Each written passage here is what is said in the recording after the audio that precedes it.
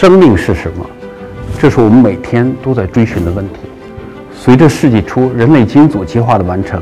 现在每个人的基因组都可以被深度测序。人类正站在前所未有的科技高度上理解生命过程，探索由生殖到癌症等贯穿生死的重大医学问题。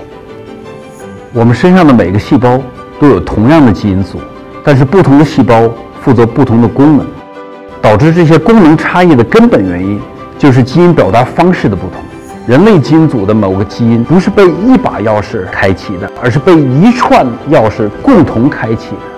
但是以前我们不知道这些钥匙是什么，现在在 ICG 利用我们最新的技术，我们可以找到每一个基因那一串钥匙，也就是说。我们在解锁生命的密码。ICG 这个平台的建立呢，其实是给我们基础研究工作者、临床医生提供了一个特别好的平台。Advanced Innovation Center for Genomics 其实是抓住了 Advanced Innovation 和 Genomics。就是我们怎么样去创新呢？是通过现代化的这样一个基因学的不断的深入的，能够在碱基的水平、分子的水平去做基因的研究、诊断和探索，然后去找临床诊断、预防新的方法。跟其他很多的生命科学的科研机构不同，我们是一个非常注重技术开发的科研机构。测序技术是过去的十几年来在生命科学领域发展最快的技术之一，彻底改变了我们对过去生命科学的认识，也大大促进了医学等等这个应用的发展。我也是从这个其他学科进入到测序的领域的。我是一个呃学化学的，怎么把它精确的测量出来，不带错误，这是我追求的终极目标。如果说测序是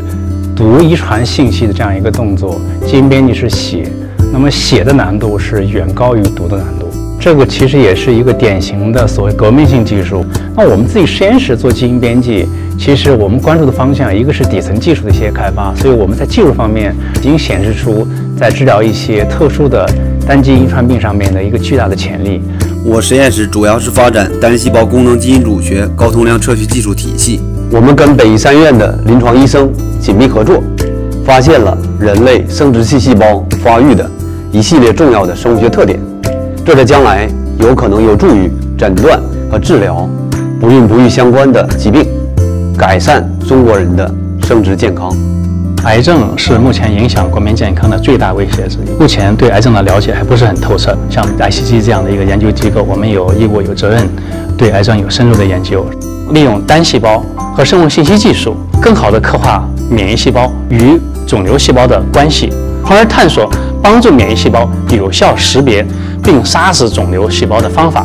从内而外的攻克癌症。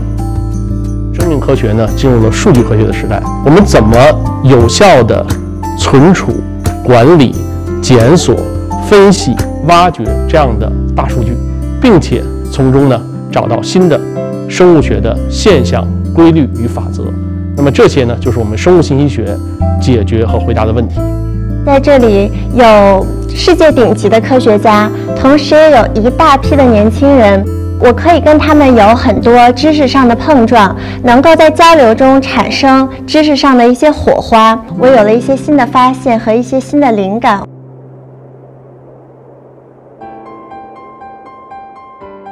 在我们这个平台上，我们不仅仅关心怎么发表科学论文，我们还关心怎么把我们的这个研究成果应用到临床上去，同时怎么把我们的研究成果应用到产业上面去。我们能不能做更好的试剂、更好的仪器、更好的设备，为我们的科学研究服务，为我们的生命健康服务 m e l b a c k Baby 呢，其实是一个特殊的试管婴儿技术，能够使这些有遗传病的家庭没有异常的孩子出生了。那 Milkback 技术最关键的就是把这个准确性，呃，提高到了最好的一个精度，使得我们把过去不能诊断的能诊断了，把过去不敢诊断的能够诊断了。所以现在不仅在北医三院的生殖中心应用，而且在全国，特别是在世界上其他的生殖中心应用，已经有数百名的健康孩子出生。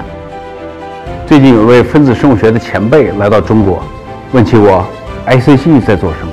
我跟他说。我们想利用 ICG 最新的技术，找到开启基因的钥匙串。听完之后，他跟我说：“我一直在讲生物学的过去，而你在谈生物学的未来。我知道这是他对我的一种鼓励，但我还是非常高兴，我们在 ICG 的探索工作得到了同行的认可。ICG 是一个激动人心的地方，是一个优秀的创新平台。我们是要去做真正引领的、高风险的，但是世界级的工作。我希望 ICG 继续保持在癌症研究的前沿，能永远做中国呃最特殊的、最有前途的生命科学的研究机构。在基因水平去解决生命起源、健康的更多的问题。共同推动人类知识的进步。让我们的科学变得有温度。我希望十年以后回首 ICG，我们在基础研究上做出世界领先的工作，也希望在关乎生死的健康问题上做出我们自己的贡献。